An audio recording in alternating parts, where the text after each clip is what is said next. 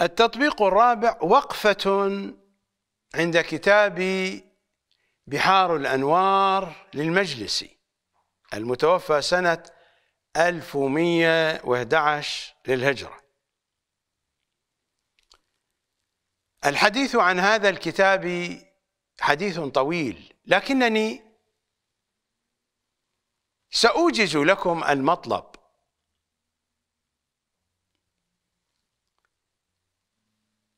بحار الأنوار جامع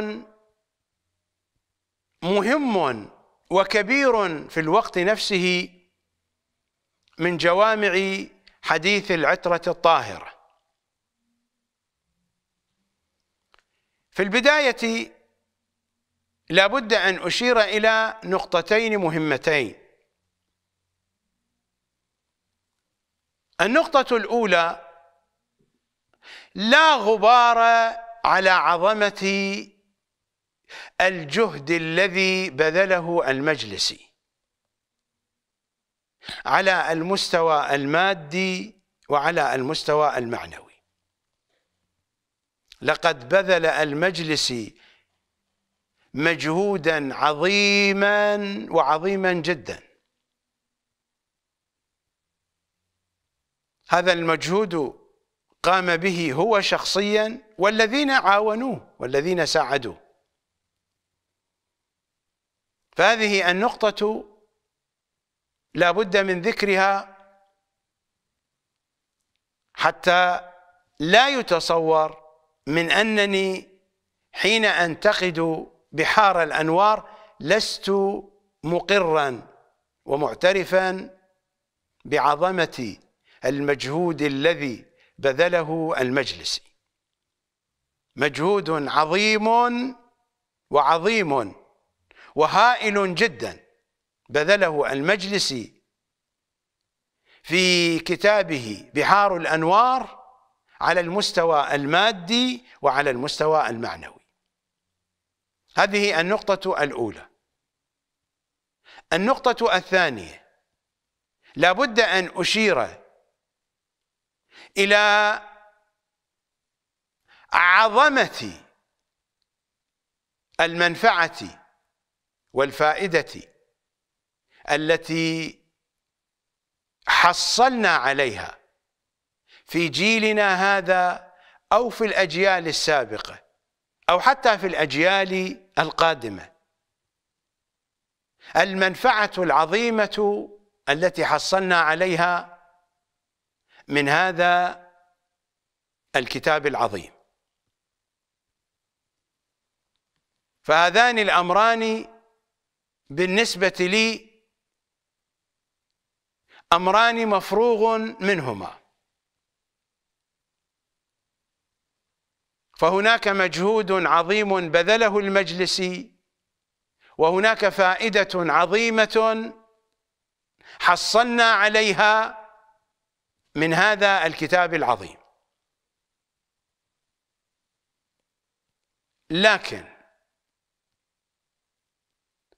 هناك عيوب كثيرة في كتاب البحار. عيوب كثيرة. من هذه العيوب أولاً موقف المجلس من حديث العترة. موقف المجلس من حديث العترة يشكل عيبا كبيرا ألقى بظلاله القاتمة على كتاب البحار. قد تقولون كيف ذلك؟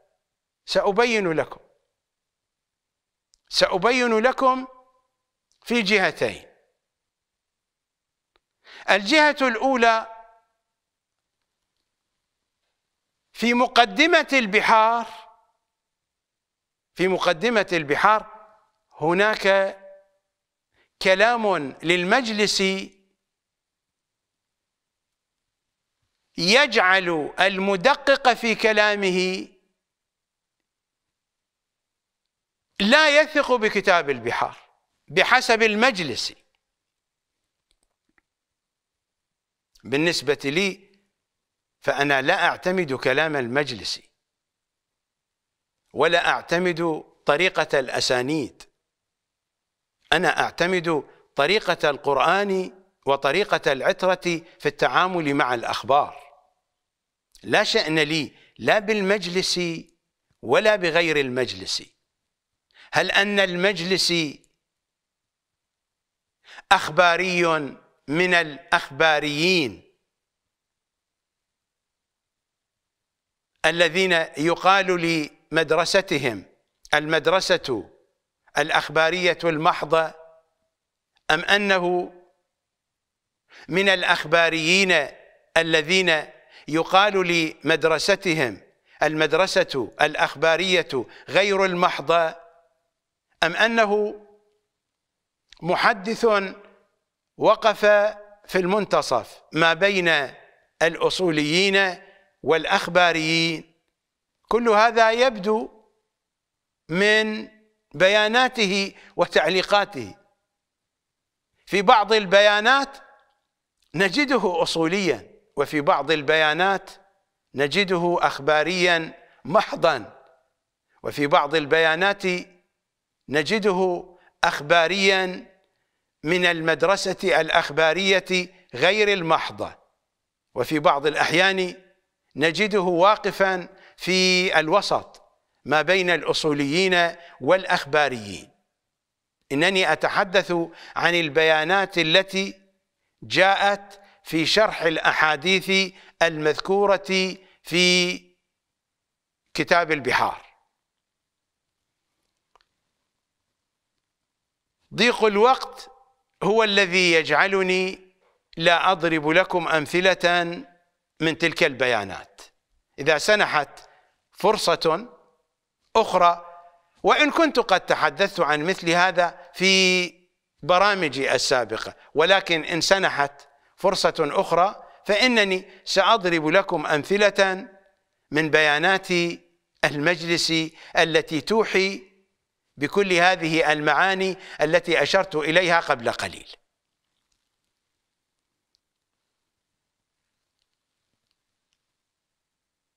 فموقف المجلس من حديث العترة نستطيع أن نتلمسه في مقدمة كتاب البحار.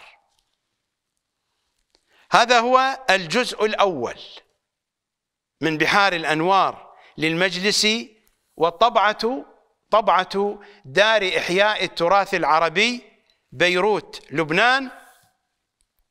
في الصفحة الثالثة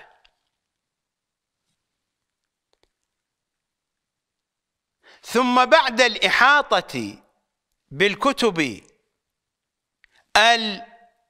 المتداولة المشهورة تتبعت الأصول المعتبرة المهجورة. دققوا النظر في كلام المجلس. ثم بعد الإحاطة بالكتب المتداولة المشهورة. هذه الكتب التي كانت متداولة في زمان المجلس وما قبله. المجلس توفي سنة 1111 هناك من يقول توفي سنة 1110 لا يوجد فارق كبير. فهو يتحدث عن الكتب المتداولة في زمانه التي كانت معروفة في الأوساط العلمية الدينية الشيعية. ثم بعد الإحاطة بالكتب المتداولة المشهورة تتبعت الأصول المعتبرة المهجورة. هو يتحدث عن تتبعه لكتب أخرى ليست متداولة في الوسط الشيعي. لكنها من الكتب الأصول. تتبعت الأصول المعتبرة المهجورة التي تركت في الأعصار المتطاولة والأزمان المتمادية منذ زمان الطوسي. إما لاستيلاء سلاطين المخالفين وأئمة الضلال لاستيلاء سلاطين المخالفين وأئمة الضلال فهناك تقية. أو لرواج العلوم الباطلة بين الجهال المدعين للفضل والكمال أو لقلة اعتناء جماعة من المتأخرين بها لقلة اعتناء العلماء بها بغض النظر عن كل هذه التفاصيل. المجلسي يقول في مقدمة كتابه من أن مصادر كتابه البحار. الكتب التي كانت متداولة في زمانه وهناك كتب لم تكن متداولة في زمانه. ولذلك فإن الذين يضعفون هذا الكتاب يقولون هذه كتب وصل إليها المجلس بطريق الوجادة وجدها وجد كتبا. يعني أن الكتب لم تكن متداولة مع أنني لا أريد أن أناقشهم لأن الكتب المتداولة هي الأخرى. لم تكن قد وصلت من يد مؤلفيها. الكتب أتلفت وأحرقت. ولذا فإن طريقة النواصب هذه في التعامل مع الكتب من أن الكتاب الذي يكون قد وصل إليه المجلس أو وصل إليه أي أحد من طريق الوجادة يكون كتابا ضعيفا هذه طريقة باطلة تتعارض مع منطق القرآن ومنطق العترة الطاهرة. ولا أريد أن أناقش هذا الموضوع. لكن بحسب ما هو متعارف في الوسط الشيعي فإن مثل هذا الكلام سيؤدي إلى تضعيف كتاب البحار.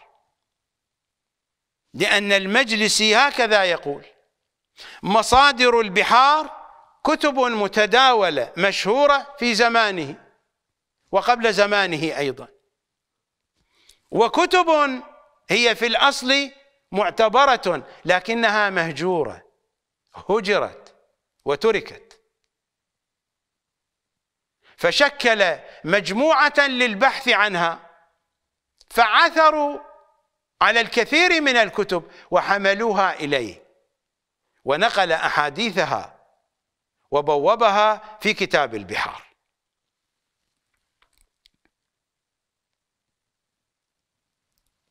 إذا مصادر البحار على نوعين كتب متداولة مشهورة كانت موجودة في زمان المجلس وكتب لم تكن متداولة مشهورة وإن كانت من الأصول المعتبرة لكنها قد هجرت ونسيت وضيعت وضاعت. فأخذ المجلس يبحث عنها حتى عثر على كثير منها فجاء بها ووضع أحاديثها في هذا الكتاب. فكلامه هنا بحسب ما هو معروف في الأوساط الشيعية العلمية الدينية كلامه هنا يكون مضعفا لكتابه. وفي الصفحة الثامنة والأربعين.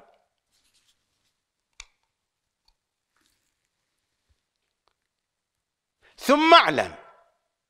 يخاطب القارئ يخاطب المتلقي. ثم اعلم.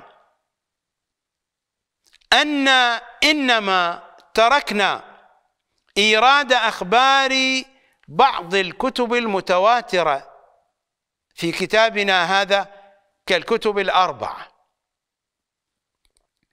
لكونها متواترة مضبوطة أنا لا أريد أن أناقش المجلس في مصطلح التواتر هذا.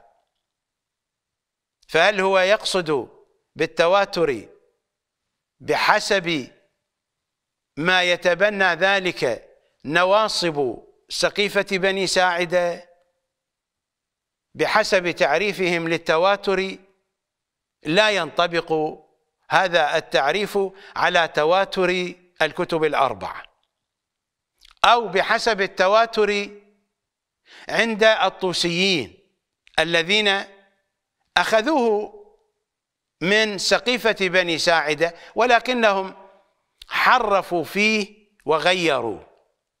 كذلك لا ينطبق تعريف التواتر عند الطوسيين على الكتب الأربعة.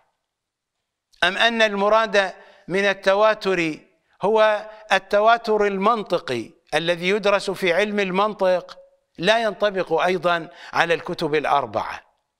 أم أن المراد من التواتر هو المعنى اللغوي والمعنى العرفي. من أنها كتب معروفة مشهورة ذائعة الصيت. إذا كان المراد هذا هذا الكلام صحيح. أما إذا كان المراد من التواتر ما يذكره سقيفي بني ساعدة عن التواتر لا ينطبق على الكتب الأربعة. وما يذكره سقيفي. بني طوسي لا ينطبق أيضا على الكتب الأربعة. وما يذكر في علم المنطق من تواتر لا ينطبق أيضا على الكتب الأربعة. لكننا إذا أردنا أن نتحدث عن تواتر الكتب الأربعة بحسب المعنى اللغوي بحسب المعنى العرفي فإن الكلام يكون صحيحا. ثم اعلم أن إنما تركنا إيراد أخبار بعض الكتب المتواترة في كتابنا هذا كالكتب الأربعة لكونها متواترة مضبوطة لعله لا يجوز السعي في نسخها وتركها. وإن احتجنا في بعض الموارد إلى إيراد خبر منها. فهذه رموزها الرموز التي وضعها للكتب الأربعة. خلاصة قوله يقول من أنه لم يضمن كتاب البحار أحاديث الكتب الأربعة. لماذا؟ رعاية وحماية لمنزلة الكتب الأربعة ماذا يعني ذلك؟ المجلس يرى أحاديث الكتب الأربعة يرى أنها أوثق وأعلى شأنا من الأحاديث التي أثبتها في كتاب البحار. هذا هو الذي يقصده. هل نلوم الطوسيين بعد ذلك حينما يمزقون كتاب البحار؟ إذا كان المؤلف نفسه هو الذي يقول هذا الكلام. قطعا بالنسبة لي لا أعبأ بكلامه. هذه أحاديث أهل البيت ليست من تأليفه هو. حتى أنظر إلى كلامه بخصوصها. غاية ما فعله جمع الأحاديث. فليس من صلاحيته أن يقول هذا الكلام لتضعيف هذه الأحاديث. هو يعتقد بهذا تلك هي عقيدته عقيدته له. إذا المشكلة أين؟ المشكلة في موقف المجلس من حديث العترة. وهناك ما هو أنكى من ذلك. حينما شرح الكتب الأربعة شرح الكافي مثلا. هذا كتابه مرآة العقول في شرح أخبار آل الرسول إنه شرح لكتاب الكافي من أوله إلى آخره من بداية الأصول إلى نهاية الروضة. هذه الطبعة طبعة مؤسسة الأعلمي للمطبوعات بيروت لبنان. هذه الطبعة في أربعة وعشرين جزءا. هذا هو الجزء الأول من مرآة العقول. وهذا الجزء الخامس. لماذا جئت بالجزء الخامس؟ جئت بالجزء الخامس كي أضرب لكم مثالا. باب مولد الصاحب صلوات الله عليه. هذا الباب من أبواب كتاب الحجة. وكتاب الحجة يقع في الجزء الأول من الكافي. الجزء الأول والجزء الثاني بحسب الطبعة المشهورة للكافي والتي تتألف من ثمانية أجزاء. الجزء الأول والجزء الثاني يقال لهما أصول الكافي. باب مولد الصاحب من أبواب كتاب الحجة وكتاب الحجة من الكتب التي اشتمل عليها الجزء الأول من أجزاء الكافي الشريف. في هذا الباب يوجد واحد وثلاثون حديثا. تدور مضامينها حول مولد إمام زماننا صلوات الله عليه موضوع حساس وحساس جدا. موضوع حساس جدا. المجلس حينما تناول أحاديث هذا الباب قيم الأحاديث مثل ما فعل مع سائر أحاديث الكافي. من أول حديث في الكافي إلى آخر حديث في الكافي المجلس يقيم الحديث.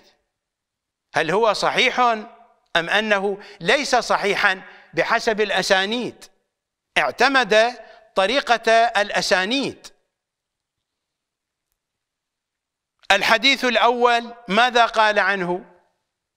ضعيف على المشهور. هذا هو الجزء الخامس من مرآة العقول في شرح الكافي للمجلسي صفحة 184 الحديث الأول من الباب الذي عنوانه باب مولد الصاحب عليه السلام. الحديث الأول ضعيف على المشهور. الحديث الثاني مجهول. الحديث الثالث مجهول.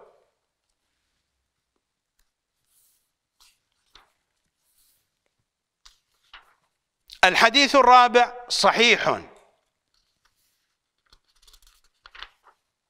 الحديث الخامس مجهول. الحديث السادس مجهول.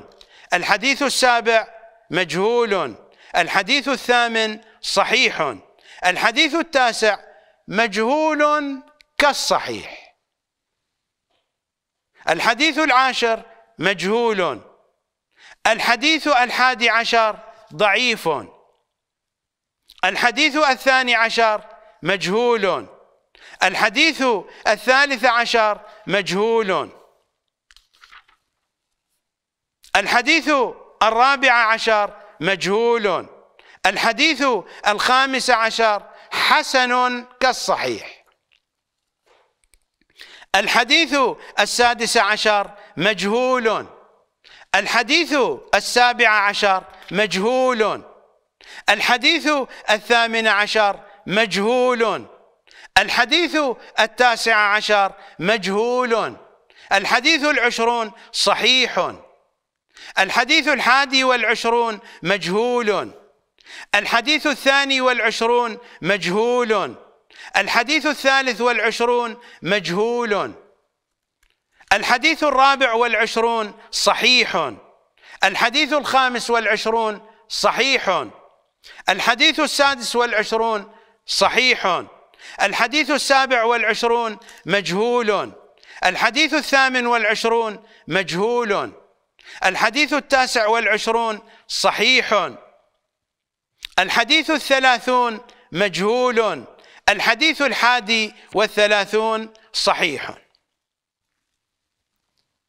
واحد وثلاثون حديثا. واحد وعشرون حديثا حكم عليها بأنها أحاديث ضعيفة ومجهولة. سبعة أحاديث حكم بصحتها. ثلاثة أحاديث حكم بأنها قريبة من الصحيح كالصحيح.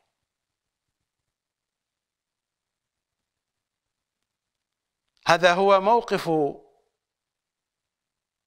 المجلس من الكتب الأربعة. والأمر نفسه إذا ذهبنا إلى كتاب الفقيه وهكذا. فله شرح على الكافي وله شرح على الفقيه موقفه من الكتب الأربعة هكذا. قلت لكم المجلس تارة يصبح أصوليا وأخرى أخباريا محضا وأخرى أخباريا غير محض وأخرى يقف في الوسط ما بين الأصولية والأخبارية. لا نعرف هويته بالضبط. مشهور أنه أخباري من المدرسة الأخبارية غير المحضة هذا هو المشهور عنه. ولكننا إذا أردنا أن ندقق في كتبه في بياناته في بحار الأنوار أو في شرحه للكافي وغير الكافي من الكتب الأربعة.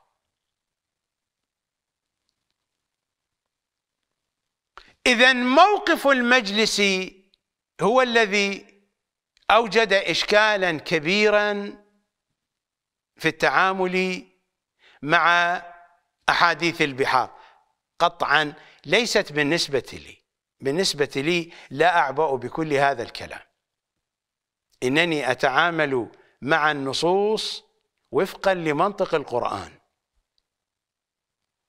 يا أيها الذين آمنوا إن جاءكم فاسق بنبأ فتبينوا. لا تردوا خبر الفاسق. لا شأن لي بالأسانيد. إنني أذهب إلى المتون.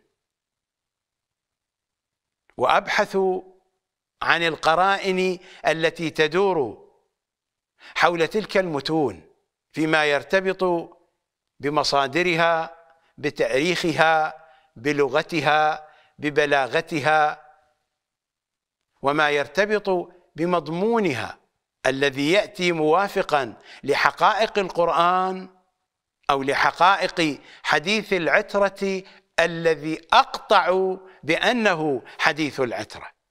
فلا شأن لي بكل هذا الهراء. وأنا هنا لا أحدثكم عن منهجي في التعامل مع الحديث. وإنما أعرض لكم ماذا جرى على حديث أهل البيت. حتى الذين يؤمنون بحديث أهل البيت ويدافعون عنه وهم الذين بذلوا الجهود العظيمة في جمعه كالمجلس هم هم صنعوا ما صنعوا من المشاكل والعوائق التي كانت سببا في صناعة الوسائل لتدمير منظومة حديث أهل البيت. بحار الأنوار كتاب يشتمل على معارف أهل البيت. إنني أتحدث عن حديث العترة فيه. لا أتحدث عن هراء النواصب أو عن هراء مراجع الشيعة الطوسيين فهناك الكثير من الهراء في البحار. إما أن يعود إلى سقيفة بني ساعدة وإما أن يعود إلى سقيفة بني طوسي. إنما أتحدث عن أحاديث أهل البيت. أحاديث أهل البيت أحاديث العترة التي جمعت في بحار الأنوار تمثل معارف أهل البيت. هذه الأحاديث صحيحه ربما تعرضت للتحريف أو التصحيف هذا أمر موجود حتى في الكتب الأربعة. وموجود في كل المكتبة الشيعية وموجود في كل المكتبة السنية وموجود في كل المكتبة المسيحية واليهودية بل في كل مكتبات العالم. مسألة التحريف والتصحيف والتزييف والتغيير والتبديل ظاهرة موجودة في كل مكتبات العالم. منذ الزمن القديم وإلى يومنا هذا. لا شأن لنا بالآخرين. حديثنا في أجوائنا الشيعية. إنني حين أحدثكم هنا أحدثكم عن الذي جرى على منظومة حديث أهل البيت. وهذا موضوع واسع لكنني سأجمل لكم الكلام فيه بقدر ما أستطيع. نذهب إلى فاصل. بحسب المجلس في مقدمة البحار فهو قد ذكر من أن البحار نقلت عن كتب متداولة في عصر المجلس وعن كتب مهجورة عثر عليها بطريق الوجادة. وهذا يضعف الكتاب بحسب الأجواء الطوسية. وأضاف إلى أنه لم يثبت أحاديث الكتب الأربعة لخصوصية الكتب الأربعة وهو بذلك يعلن أن أحاديث البحار في الوثاقة دون أحاديث الكتب الأربعة. بينما هذا الكلام ليس صحيحا. وبحسب منطق القرآن ومنطق العترة الطاهرة فإن الأمر ليس كذلك. والذي زاد الأمر سوءا أن المجلس حينما شرح الكتب الأربعة ذهب إليها فضعف الكثير من أحاديثها. وهذا الكافي على سبيل المثال.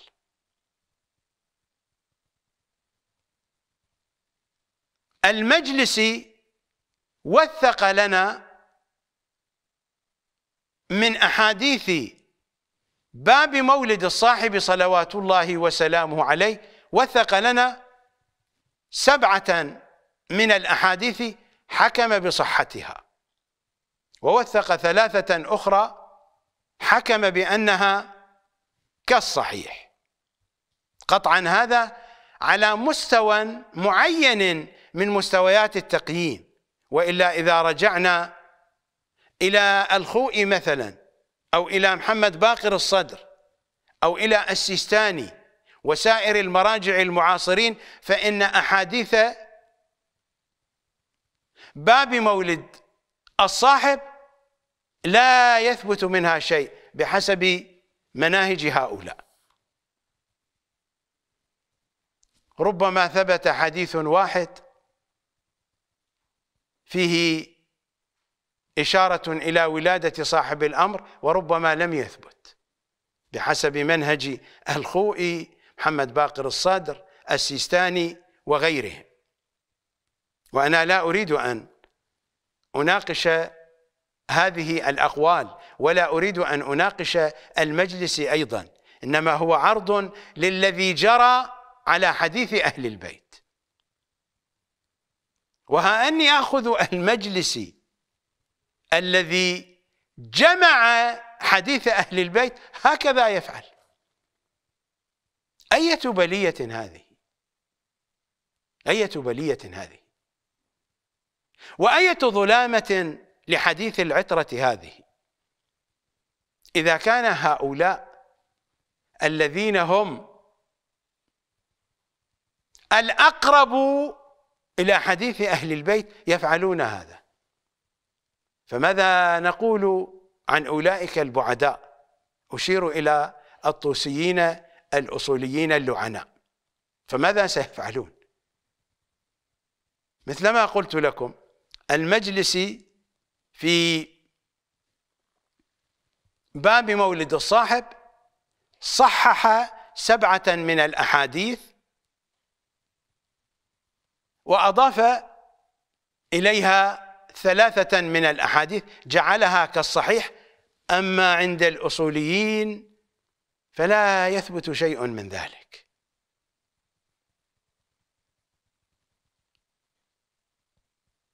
أعود إلى كتاب البحار. المجلس جمع أحاديث العترة وبوبها لكنه بوبها بحسب ما هو شائع في التبويب. وما هو شائع في التبويب ليس منسجما مع مذاق العترة الطاهرة. أخذ لكم مثالا. حينما جاء إلى باب النبوة فبوب باب النبوة تبويبا تاريخيا. فابتدأ من أبينا آدم وتسلسل حتى وصل إلى نبينا الأعظم صلى الله عليه وآله.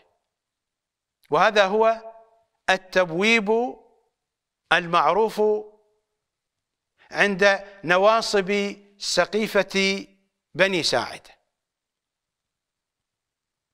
هذا التبويب لا يوجد في القرآن ولا يوجد في حديث العترة. فإذا كنا بصدد جمع حديث العترة الطاهرة ونحن نريد أن نعرض حقائق دين العترة الطاهرة علينا أن نلتزم بمذاقهم وبطريقتهم. إذا رجعنا إلى القرآن فإن القرآن لا يذكر أزمنة ولا أمكنة للأنبياء. القرآن حين يتحدث عن الأنبياء فإنه لا يشير إلى أزمنتهم. ولا يشير إلى أمكنتهم. وإذا ما ذكرت أمكنة بعض الأنبياء فلأن ذكر المكان له علاقة بالصورة التي ينقلها القرآن. فالقرآن لم يتحدث عن الأزمنة والأمكنة. وإذا ما كان هناك من إشارة إلى زمان أو مكان لأن الإشارة هذه تتعلق بتفصيل الصورة التي يريد القرآن أن يعرضها. يفترض أن باب النبوة يبدأ بنبينا. وبعد نبينا يأتي أمير المؤمنين وهكذا الأئمة وأما سائر الأنبياء. من أبينا آدم. إلى بقية الأنبياء فإنهم يلحقون في أبواب الشيعة. فهم من شيعة محمد وآل محمد. فيلحقون في أبواب الشيعة.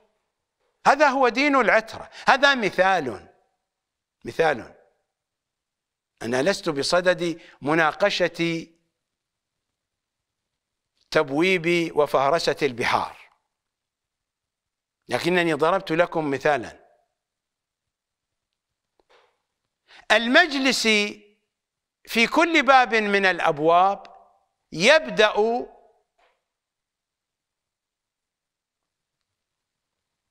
بآيات من الكتاب الكريم ترتبط بموضوع ذلك الكتاب بموضوع ذلك الباب ثم ينقل كثيرا من كتب النواصب من كتب التفسير من كتب السيرة من كتب الكلام. وهذا شيء يتعارض مع منهج أهل البيت. من الآخر أنا لا أريد أن أجعل الحلقة مخصصة للحديث عن بحار الأنوار. من الآخر.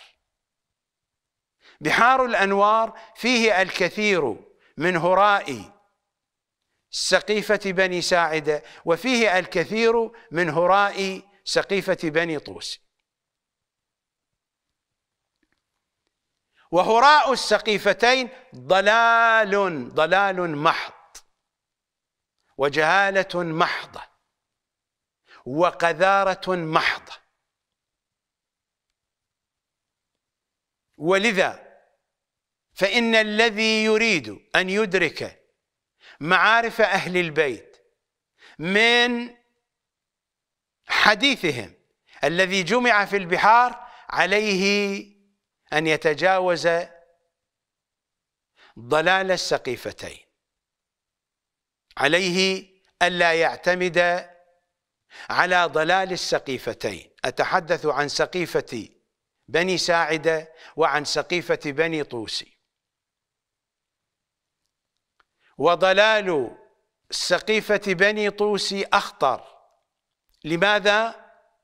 لأن ضلال المراجع الطوسيين يذكر بعد الأحاديث في شرح الأحاديث وهم جهال حمير لا يفقهون شيئا.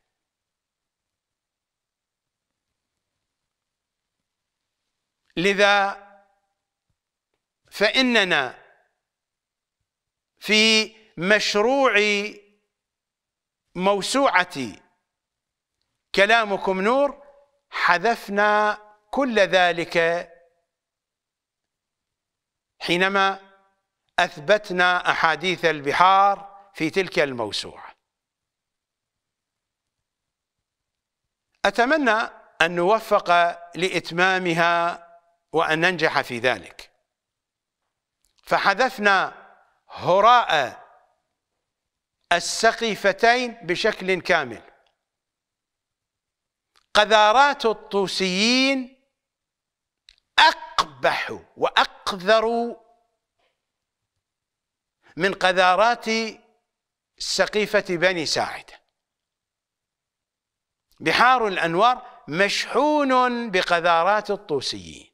ومشحون بقذارات سقيفة بني ساعد. أما أحاديث أهل البيت فهي هي أحاديث الحقائق والمعارف. وجاهل وجهول هذا الذي يتصور أن أحاديث البحار في المنزلة دون أحاديث الكتب الأربعة. هذه معلومات جاهزة قدمت لنا ووضعت في رؤوسنا من هؤلاء السفلة الشياطين الذين يقال لهم المراجع من هؤلاء. زبدة القول زبدة القول. في هذا السؤال هل المجلس ألف بحار الأنوار وفقا للطريقة التي يريدها أهل البيت؟ أجيب وبلسان قاطع كلا. كلا. المجلسي لم يؤلف بحار الأنوار وفقا للطريقة التي يريدها أهل البيت. قد تقولون وما هي الطريقة التي يريدها أهل البيت؟ أقول لكم هذا الكافي الجزء الأول. للكليني المتوفى سنة 328 للهجرة.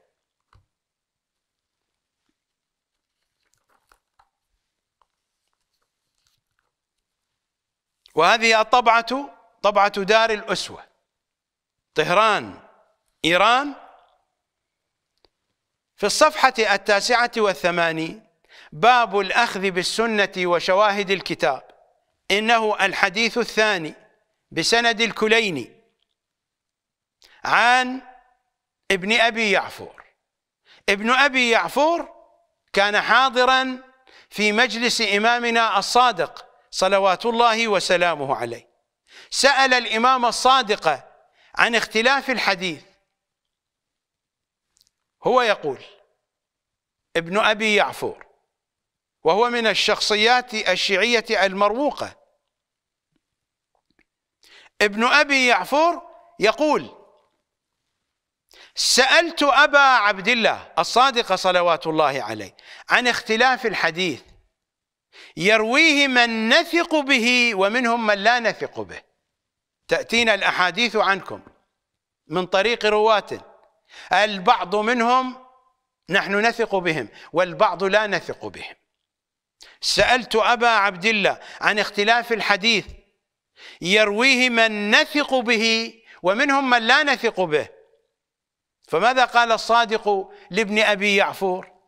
إذا ورد عليكم حديث فوجدتم له شاهدا من كتاب الله أو من قول رسول الله. من قول رسول الله الذي تقطعون بأنه قول رسول الله. من قول رسول الله ومن قول آل رسول الله. حديثي حديث أبي وحديث أبي حديث جدي. إذا ورد عليكم حديث فوجدتم له شاهدا من كتاب الله أو من قول رسول الله وإلا فالذي جاءكم به أولى به. أكنتم تثقون به أم كنتم لا تثقون به؟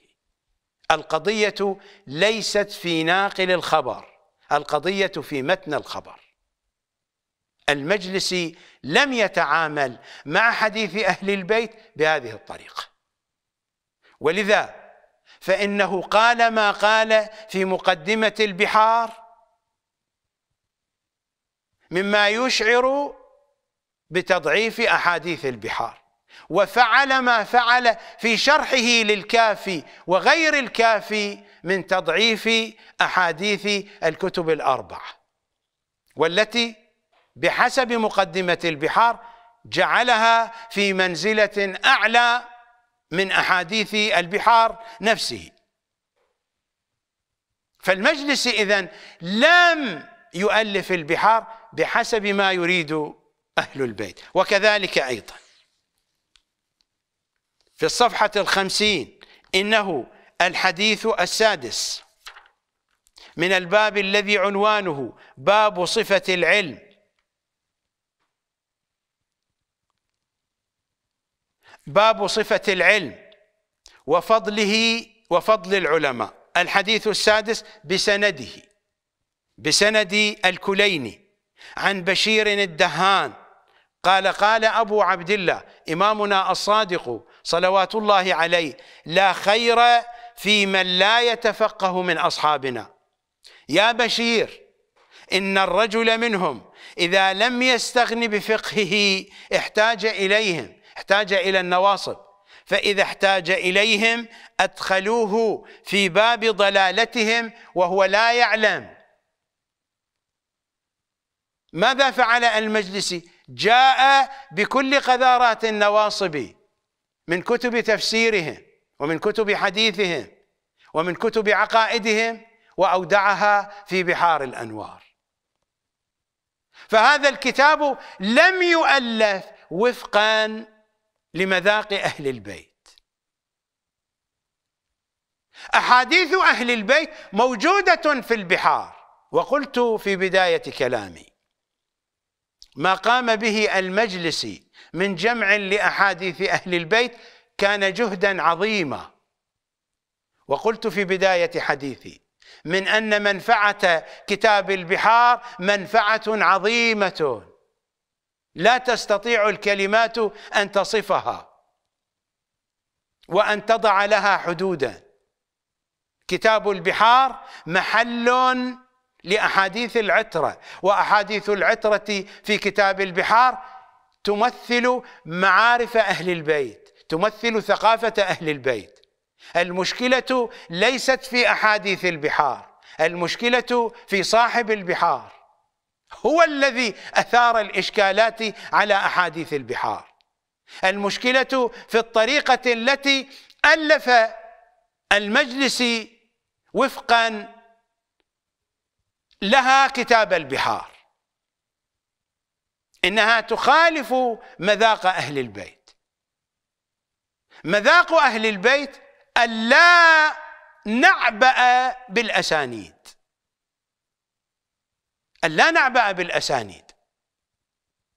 لا بأس بذكرها لكنها لا تمثل أساسا ولا قاعدة ولا أصلا في قبول حديث أهل البيت أو في عدم قبوله. أتحدث عن الحديث الذي ينقل لنا عن أهل البيت. وإلا إذا كان الحديث نعرفه حديث أهل البيت كيف أقول؟ نقبله أو لا نقبله؟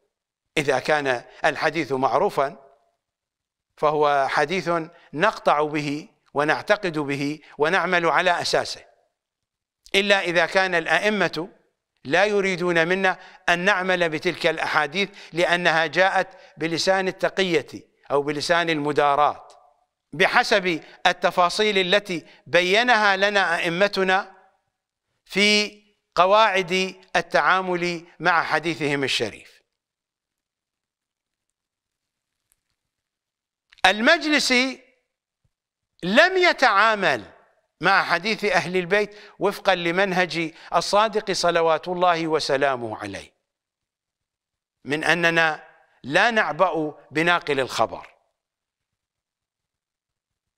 ولم يتعامل مع حديث أهل البيت وفقا لهذا المنهج. يا بشير إن الرجل منهم من الشيعة إذا لم يستغني بفقهه والذي هو فقه العترة احتاج إليهم احتاج إلى النواصب. فإذا احتاج إليهم أدخلوه في باب ضلالتهم وهو لا يعلم. وهذا هو الذي جرى على المجلس. فإنه تعامل مع حديث أهل البيت بطريقة النواصب. هذه الطريقة التي يتعامل بها المراجع الطوسيون. ومن هنا فإنني أصر على أن المجلسية طوسي طوسي. مع عظيم الخدمة التي قدمها لحديث أهل البيت صلوات الله عليهم إذا هناك طريقة يريدها أهل البيت منا أن نعمل بها إذا أردنا أن نجمع حديثهم. لو سألتموني هل هناك من كتاب ألف بهذه الطريقة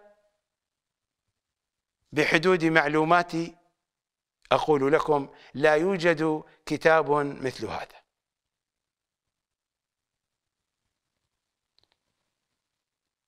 ما تقوم به مؤسسة القمر بخصوص موسوعة كلامكم نور تحاول أن تنفذ برنامج أهل البيت في جمع الحديث. إنها محاولة ولا ندري هل ننجح في ذلك أو أننا لا ننجح. نذهب إلى فاصل. وفي السياق نفسه وأنا أتحدث عن بحار الأنوار عوالم العلوم لعبد الله البحراني. عبد الله البحراني من تلامذة المجلس وكان مشاركا في تأليف البحار وقد بذل جهدا كبيرا في جمع الأحاديث من مصادرها.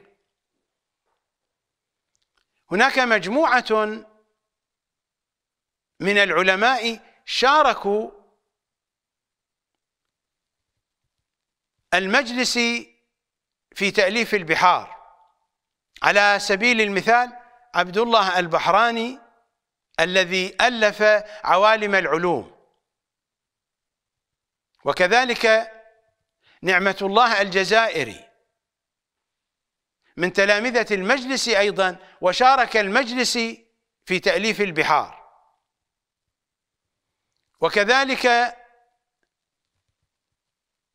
عبد الله أفندي الإصفهاني الذي له كتاب معروف في تراجم العلماء رياض العلماء وحياض الفضلاء.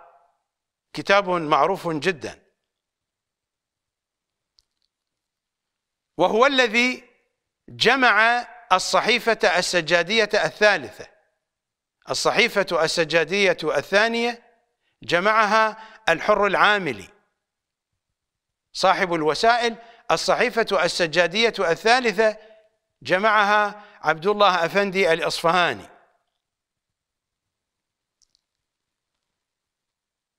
أجزاء البحار التي كتبت بخط جميل كتبها هو كان خطه جميلا في النسخ المخطوطة القديمة الأصلية لبحار الأنوار. على أي حال أعود إلى عبد الله البحراني. الذي ألف عوالم العلوم. عوالم العلوم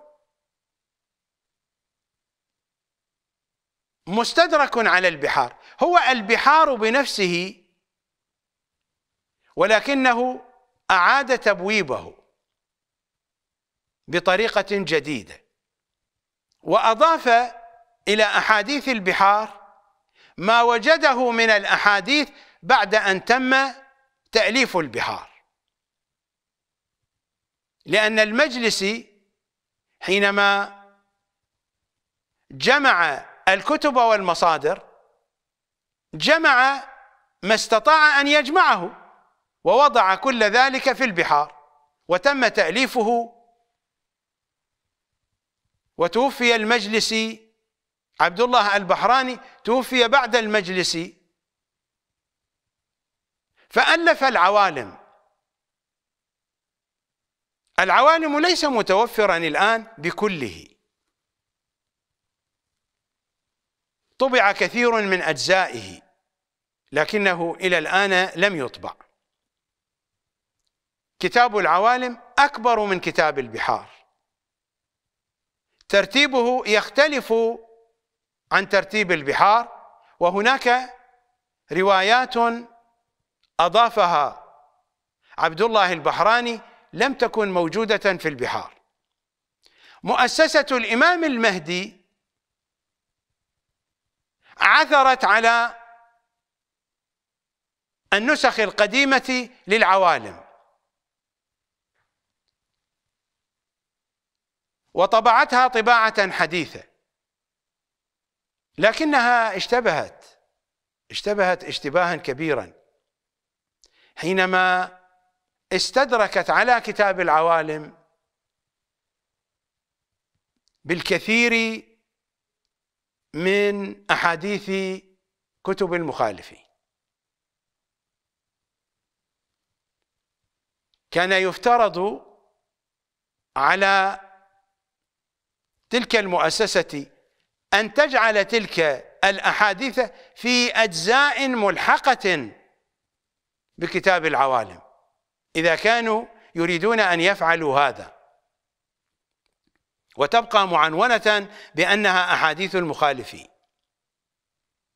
لكن أن يؤتى بأحاديث المخالفين وأن توضع ضمن الأجزاء التي ألفها عبد الله البحراني ويتغير عنوان الكتاب عوالم العلوم مع استدراكاتها مع المستدركات. هذا اشتباه كبير. هذا الاشتباه سيضلل الكثيرين حينما يعودون إلى الأحاديث ويخبطون ويخلطون بين الأحاديث. وهذه مشكلة عويصة. قطعا هم فعلوا ذلك بحسن نية لكنه جهل جهل. إنه الجهل الذي يخيم على الواقع الطوسي على الحوزة الطوسية وعلى المؤسسات الطوسية التي تريد خدمة أهل البيت. لكنها تنطلق من الواقع الطوسي القذر دون أن تكون ملتفتة من أنها ليست على دين العترة إنما هي على المذهب الطوسي النجس. مشكلة كبيرة هذه في الواقع الشيعي ولا أعتقد أن الشيعة سيتخلصون منها. لأن المراجع الأنذال في النجف وكربلاء سيبذلون قصارى جهدهم كي يحولوا فيما بين الشيعة وبين هذه الحقائق التي تبث عبر قناة القمر الفضائية. وسيفعلون كل ما بوسعهم لأجل تضليل الشيعة وتجهيلهم وتثويلهم واستحمارهم بنحو يكون أكثر مما هم مستحمرون الآن. الشيعة مستحمرون من قبل مراجع حوزة النجف وكربلاء وهم فرحون بهذا الاستحمار هنيئا لهم هنيئا لهم باستحمارهم من قبل مراجعهم العظام. انتقل إلى تطبيق خامس.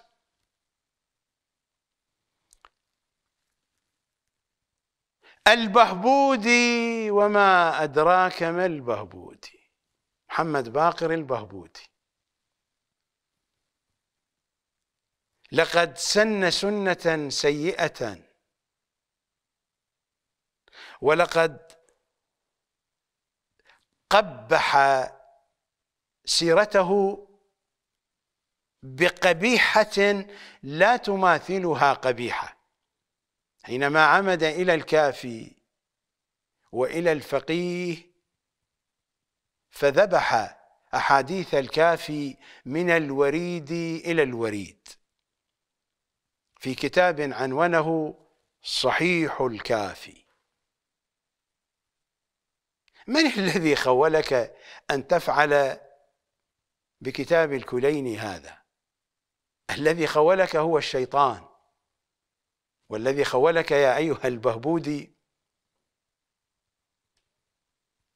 المنهج الطوسي الأنصاري نسبة إلى مرتضى الأنصاري الخوئي القذر. هذا المنهج القذر هو الذي خولك فدمرت أحاديث العترة في كتاب الكافي.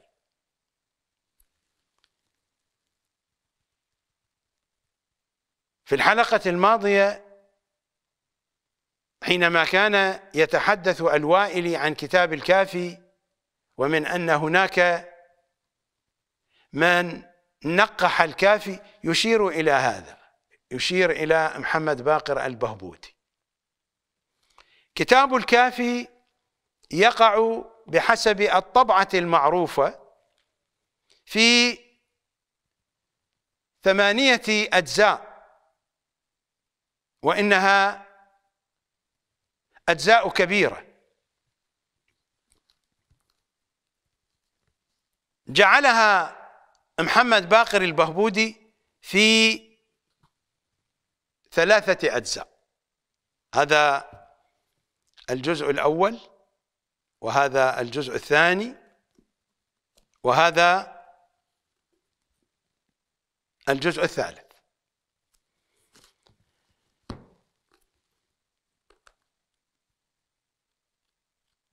أحاديث الكافي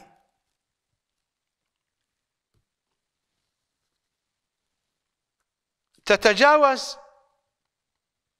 الستة عشر ألف حديثا.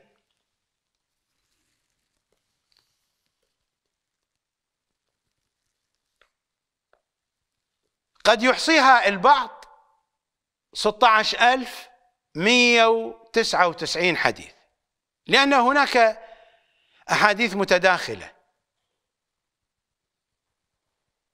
بعض الأحاديث قد يعطى لها رقم واحد وهي عبارة عن عدة أحاديث متداخلة. على أي حال ليس مهما أن أدخل في هذه التفاصيل الصغيرة. فعدد أحاديث الكافي في النسخة المشهورة المعروفة المتداولة في المكتبة الشيعية. عدد الأحاديث أكثر من ستة عشر ألف حديث. وقلت فإن البعض يعدها 16199 وربما البعض جعلها أكثر من ذلك بقليل.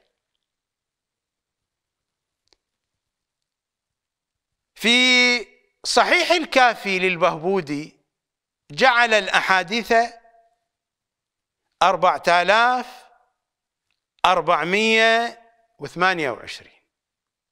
هذا الكافي الذي هو زبدة أحاديث العترة. ستة عشر ألف ومئتين حديث. حولها إلى أربعة آلاف أربعمية وثمانية وعشرين. البهبودي اعتمد منهج الخوئي. وبالمناسبة فإن منهج السيستاني أسوأ بكثير من منهج الخوئي. يعني أن البهبودي إذا أراد أن يطبق منهج السيستاني فإن الأحاديث ستكون أقل وأقل بكثير من هذا الذي أثبته في كتابه الصحيح. تصوروا معي 16200 حديث. هي جواهر أحاديث العترة تذبح من الوريد إلى الوريد كي تتحول إلى 4428 أخذ لكم على سبيل المثال. هذا في الجزء الأول. أحاديث كتاب الحجة. كتاب الحجة في الكافي هو كتاب الإمامة. الكتاب الذي جمع فيه الكليني الأحاديث التي ترتبط بمعرفة محمد وآل محمد. عدد الأحاديث التي أوردها الكليني واعتذر عن قلتها في مقدمة الكتاب. اعتذر عن قلة الأحاديث التي أوردها. وتمنى أن يفرد في قادم الأيام كتابا في موضوع الحجة يكون مفصلا. هكذا ذكر في مقدمة الكافي. عدد الأحاديث التي ذكرها الكليني في كتاب الحجة ألف واثنعش حديث ألف واثنعش حديث أتعلمون كم أثبت منها البهبودي؟ أثبت حديثا صحيحا مية واحد. مية واحد رواية. من مجموع ألف واثنعش رواية من أهم روايات معارف أهل البيت. قصفها قصفا لم يبق من تلك الأحاديث شيئا. من مجموع ألف واثنعش رواية أبقى مية واحد رواية. هذا ما يرتبط بكتاب الحجة في الجزء الأول. هذا الجزء الثامن والذي يعرف بكتاب الروضة. الطبعة طبعة دار التعارف للمطبوعات. عدد الأحاديث 597 أحاديث الجزء الثامن. هذه الأحاديث تشكل الخارطة الكاملة لثقافة العترة الطاهرة فيما يرتبط بقراءة التاريخ في الماضي والحاضر والمستقبل وما يرتبط بفهم الحياة. هذا الجزء الثامن من الكافي لو كنت أنا الذي أضع له عنوانا لأسميته بمدرسة الحياة. مدرسة الحياة. الجزء الثامن من الكافي مدرسة الحياة. 597 حديث.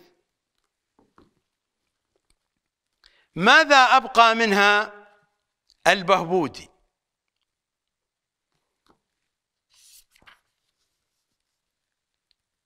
البهبودي أثبت منها أربعة وسبعين حديثا فقط. من مجموع خمسمية وسبعة وتسعين. أثبت أربعة وسبعين حديثا. ماذا أقول للبهبودي وماذا أقول لمنهج الخوئي والأنصاري والطوسي ماذا أقول لهؤلاء؟ هذا هو الذي أقصده حينما أتحدث في هذا العنوان مشاريع التدمير والتحريف والتزييف لمنظومة حديث العترة على المستوى المرجعي.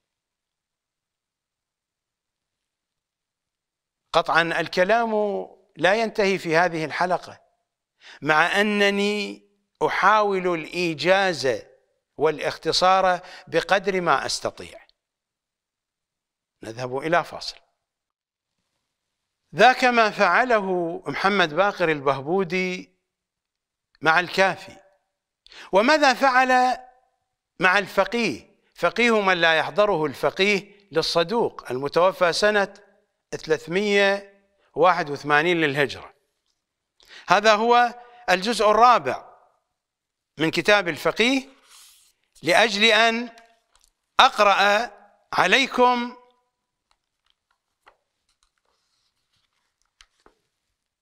عدد الأحاديث التي أثبتها الصدوق في كتابه الفقيه. 5923 هذه الطبعة طبعة مؤسسة النشر الإسلامي قم المقدسة. هذا هو الجزء الرابع. صفحة 420 آخر حديث هذا رقمه 5923 البهبودي ماذا فعل في هذا الكتاب؟ كتاب الفقيه يتألف من أربعة أجزاء. جعله البهبودي جزءا واحدا. عنوانه صحيح من لا يحضره الفقيه. كم أثبت من الأحاديث؟ ألف وستمية واثنين وأربعين. كم كان عدد الأحاديث؟ خمسة آلاف تسعمية وثلاثة وعشرين. من خمسة آلاف تسعمية وثلاثة وعشرين أثبت ألف وستمية واثنين وأربعين حديثا. هذه هي الأحاديث الصحيحة في كتاب الفقيه.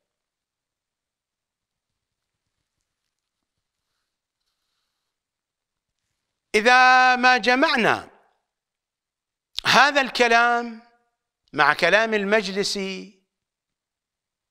مع سائر التفاصيل التي مرت كلما مر الزمان وتقادم الوقت كلما ما تلاشت أحاديث أهل البيت. حينما أقول تلاشت أحاديث أهل البيت لا أنها لن تكون موجودة في الكتب وإنما تتلاشى قيمتها. فما فائدة وجودها في الكتب؟ والكتب موجودة في رفوف المكتبات لكن قيمتها لا تعد بشيء. وهذا هو الذي يجري في الواقع الحوزوي الطوسي. هذا هو الذي يجري. كتب الحديث تطبع. مؤسسات يقال عنها من أنها مؤسسات تحقيق وهي مؤسسات بطيخ. لا تحقيق ولا هم يحزنون. مؤسسات تطبع الكتب. والكتب توزع في الأسواق والناس قد تشتري هذه الكتب لكن قيمة حديث أهل البيت تتلاشى. هذا كتاب آخر ككتب البهبودي. فإذا كان البهبودي ذبح أحاديث الكافي وأحاديث الفقيه. فهذا أحمد بحسب ما هو مكتوب أحمد ابن عبد الجبار السمين. وهذه الطبعة طبعة دار المحجة البيضاء بيروت لبنان. عنوان الكتاب الأحاديث المعتبرة من أصول الكافي بمحورية المباني الرجالية للإمام السيد أبي القاسم الخوئي. مو قلنا لكم الخوئي بطل رأيه في معجم رجال الحديث. أراد أن يغير قطعا نحو الأسوأ كبول البعير. كالخراء المتجمع في كنيف المراحيض لعدة سنوات يتعفن أكثر وأكثر. هذا هو حال مراجعنا العظام. الموجود في كتابه معجم رجال الحديث لا يعد صحيحا بنظر الخوئي. الكتاب بحاجة إلى تصحيح لكن الحاشية منعوه. مر هذا الكلام علينا. على أي حال ألا تلاحظون أن المسخرة تكون مسخرة مركبة في الواقع الشيعي؟ المؤلف نفسه لا يرى صحة كتابه وهؤلاء يؤلفون الكتب وفقا لما يقوله المؤلف الذي لا يعتقد صحة كتابه ويدمرون أحاديث أهل البيت. الأحاديث المعتبرة من أصول الكافي بمحورية المباني الرجالية القندرائية للإمام السيد أبي القاسم الخوئي. الطبعة الأولى 2022 ميلادي.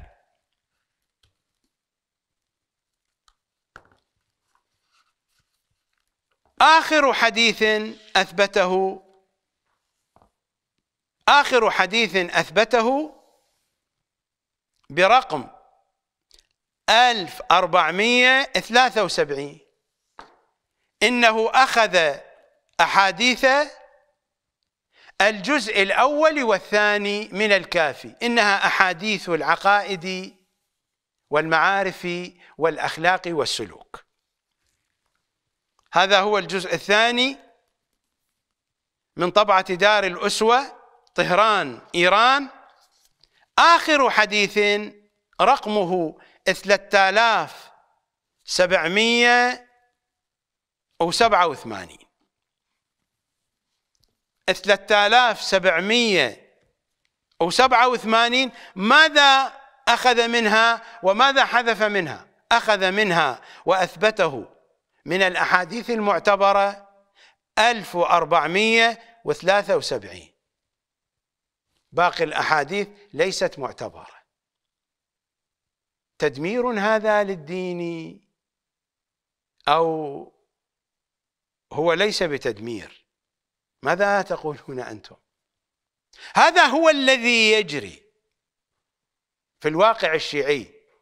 منذ سنة 448 بعد أن أحرقت الكتب الشيعية وألفت بعد ذلك في حوزة الشيطان في حوزة النجف بطريقة محرفة. وبدأت عمليات التدمير. وهناك تدمير ليس مقصودا كتدمير المجلس للأحاديث. وقد بينت لكم ما بينت قبل قليل وإن كان بنحو موجز. لو كنت أريد الدخول في التفاصيل فإنني سأحتاج إلى عدة حلقات. هذه نماذج بين أيديكم. هذا كتاب جديد والكتب ستترى وتترى وتترى. على هذا المنوال إنه التدمير والتحريف والتزييف قد يقول قائل هؤلاء فقط حذفوا الأحاديث لم يحرفوا ولم يزيفوا. حينما يحذفون الأحاديث فإن الأحاديث التي عدوها صحيحة أو معتبرة ستكون معانيها منقوصة من دون الأحاديث التي حذفت. وهذا هو أخطر أنواع التحريف والتزييف في معارف العترة الطاهرة. التحريف والتزييف ليس بالضرورة أن نأتي إلى الكلمة كي نحرفها أو نأتي إلى الحديث كي نرفع جزءا من الحديث ونأتي بكلام ليس من الحديث كي نلحقه بالحديث. هذا في زماننا لا يمكن أن يحدث بسبب انتشار الكتب وبسبب سهولة التحقيق وبسبب القدرات المتوفرة لأجل أن يستكشف الإنسان الحقائق فلن يفعل هذا. ولو فعل قد يكون على مستوى كلمة حرف. لكن التحريف والتزييف الأخطر حينما نأتي إلى موضوع في هذا الموضوع مئة حديث. مئة حديث يكمل بعضها بعضا ويشرح بعضها بعضا. نأتي فنقوم بحذف تسعين حديثا. ونبقي عشرة أحاديث. هذا أخطر بكثير من تزييف بعض الجمل أو تغيير بعض الكلمات. هذا قضاء نهائي على معارف أهل البيت وهذا هو الذي يفعله البهبودي ويفعله هذا السمين وغير هؤلاء.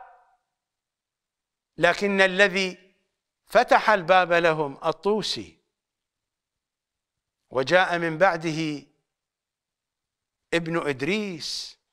ابن إدريس ينتقد الطوسي لكنه فتح بابا لتضعيف الأحاديث واسعا.